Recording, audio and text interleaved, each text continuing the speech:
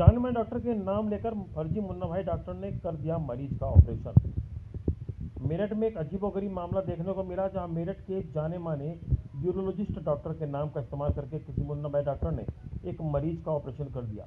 मामले का खुलासा तब हुआ जब मरीज़ असली डॉक्टर के पास पहुंचकर शिकायत करने पहुँचा कि डॉक्टर ने उनका गलत ऑपरेशन कर दिया है। मरीज़ के ऑपरेशन लगाने पर डॉक्टर शरद भी हैरान में पड़ गए। दरअसल मेरठ के जाने माने यूरोलॉजिस्ट डॉक्टर शरद के नाम पर उनके शपथ पत्र पर मोहर व हस्ताक्षर का फर्जीवाड़ा करके किसी मुन्ना भाई डॉक्टर के ज़रिए गोकुलपुर में बने श्री भूषण अस्पताल में मरीजों का इलाज किया जा रहा था। इसका खुलासा जब हुआ, जब गलत ऑपरेशन होने पर खुद मरीज़ डॉक्टर शराब के सामने पहुंचकर शिकायत करने पहुँचा। जब डॉक्टर सूरत ने मरीज़ का ऑपरेशन न करने की बात कहने लगे तो पीड़ित मरीज़ ने डॉक्टर शरद के नाम की मोहर में सिग्नेचर किए, उन्हीं का शपथ पत्र दिखाया तो डॉक्टर हैरान रह गए।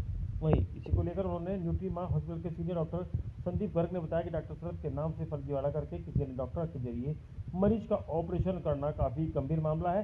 जब इस फर्जीवाड़े का डॉक्टर शरद को जानकारी हुई तो उन्होंने मेडिकल एसोसिएशन पे बने व्हाट्सएप ग्रुप में उच्च अधिकारियों को इस बारे में जानकारी देते हुए शिकायत दर्ज कराई। इसके बाद जाँच पड़ताल के बाद सामने आया कि मेरठ के गोकुलपुर में बने श्री भूषण अस्पताल में मरीज़ का इलाज किया गया, मरीज़ का इलाज भी आयुष्मान पैनल पर किया गया था, जिसमें जिस डॉक्टर ने उस मरीज़ का ऑपरेशन किया, ये जानकारी अभी तक नहीं हो सकी, जिसने डॉक्टर शरद का शपथ पत्र मोहर और सिग्नेचर का इस्तेमाल करते हुए उस मरीज़ का गलत ऑपरेशन कर दिया। लापरवाही के चलते मरीज़ की जान को भी खतरा है। वही इस मामले को गंभीरता से लेते हुए सीएम डॉक्टर अखिलेश मोहन ने तत्काल प्रभाव से फर्जी तरीके से चल रही श्री भूषण अस्पताल को सीज कर दिया।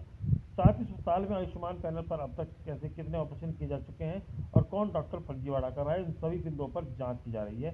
जो भी डॉक्टर इस फर्जीवाड़े में पाया गया उसके खिलाफ मेडिकल एसोसिएशन द्वारा मुकदमा दर्ज कराकर कड़ी से कड़ी कार्रवाई